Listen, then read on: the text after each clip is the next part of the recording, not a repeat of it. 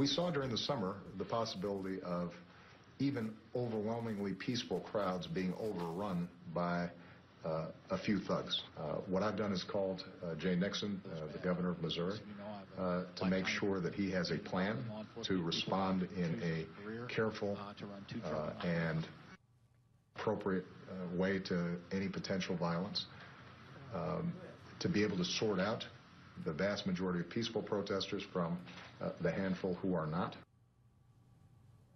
Yeah, by the way, you put on the cops put on their magic glasses and they uh, sort out, as he said, the few thugs, uh, or as uh, as uh, um, the uh, man who CNN features so prominently uh, says all the time, a few knuckleheads. He calls arsonists and you know and, and, and people who set fires and loot. They're knuck, they're knuckleheads. All right, Naomi Schaefer Riley wrote all about this at the New York Post. CNN is lying when they say Ferguson protests were peaceful. Let me read uh, read to you what she wrote here. The network helped stir up a nation to the point of violence. Yet since the protesters must always be on the side of the angels, CNN lies about the destruction that follows. And basically, she says if you wanted to know the truth about what was going on in Ferguson during the riots, you had to turn the sound off. Uh, Naomi, great column. And um, boy, oh boy, this whole story could not have gotten to where it is and not be continuing as it is without the likes of CNN pushing it and, and being behind it, in effect. Right. Well, this is what it means to have a media narrative. I mean, they've already sort of figured out the beginning, middle, and the end of the story before it's actually happened. And I think you saw this, you know, even before the verdict was actually handed down. There were all these people gathered, and already you had Van Jones and other people saying, oh, you know, most of the people here are here to peacefully protest. And it's, as you said, it's just going to be a few knuckleheads who are going to do something wrong. And then, you know, they made sure that that was the narrative that followed.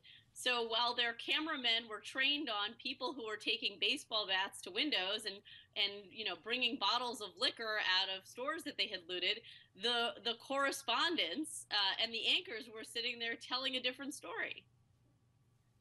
Yeah, and, and, and you know I, he has rubbed me the wrong way for years, but when he started calling them knuckleheads, it's right out of it's right out of the Obama. I'm surprised Obama didn't in that cut didn't say to Stephanopoulos knuckleheads because I've heard him refer to troublemakers as knuckleheads. So it, it's the same same you know maybe they all got it from Saul Alinsky's book. I don't know, but you know interesting. The day after the riots, the latest riots, which I guess if the verdict was announced Monday, uh, then this was uh, this would be on Tuesday morning.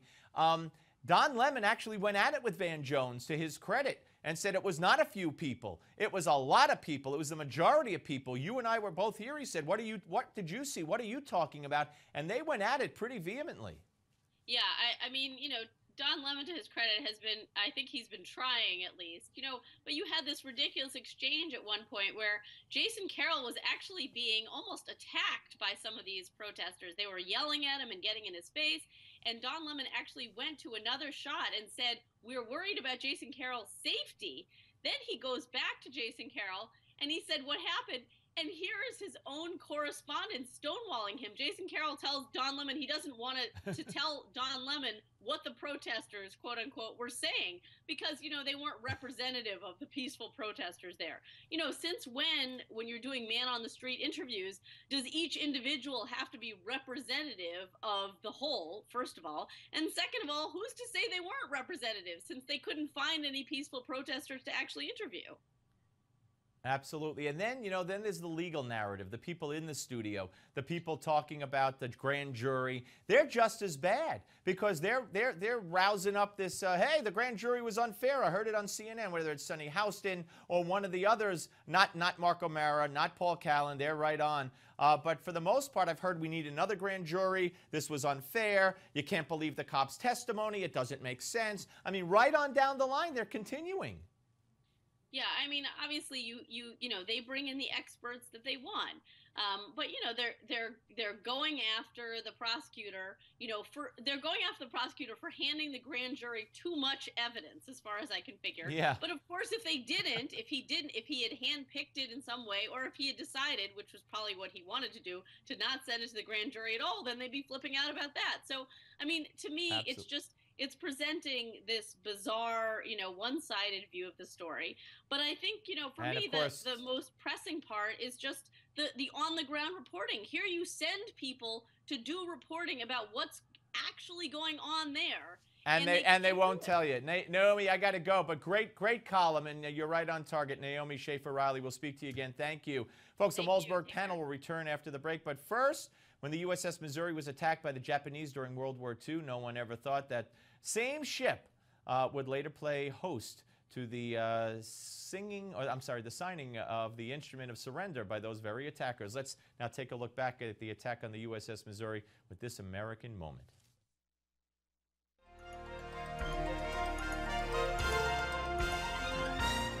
Christened on January 29, 1944, by the daughter of future President Harry S. Truman, the USS Missouri was our country's last great battleship and rapidly became the pride of the American Navy. On the 11th of April 1945, she was attacked by a kamikaze pilot who crashed his aircraft into her starboard side, causing minor damage, which can still be seen to this day. The Missouri's commander, Captain William N. Callaghan, ordered the pilot's body to be recovered so he could be buried at sea with full military honors. Serving with distinction throughout the Great War and beyond, it seemed only fitting when General of the Army Douglas MacArthur chose her as the site of the Empire of Japan's unconditional surrender. On the day of the signing, September 2, 1945, General MacArthur put little trust in his former adversary, so as a precaution, he ordered over a thousand Allied combat aircraft to fill the skies over Tokyo Bay as a warning to the Japanese. Should they be planning anything but complete and unconditional surrender, retribution would be swift and complete. With her decks filled with sailors and soldiers alike, Supreme Allied Commander Douglas MacArthur began the ceremonies. He took his pen and handed it to General Jonathan Wainwright. Wainwright was touched. He had stayed on in the Philippines during the 1941 Japanese invasion, survived the Bataan Death March, and spent four years in a Japanese POW camp. A new long peace between Japan and America had begun. Big Mo, as she was affectionately known, permanently dropped anchor in Pearl Harbor on January 29, 1999, and opened as a museum, forever commemorating the site where America's involvement in World War II began and where it ended. For Newsmax TV, I'm Bill Kurtis, and this is an American Moment.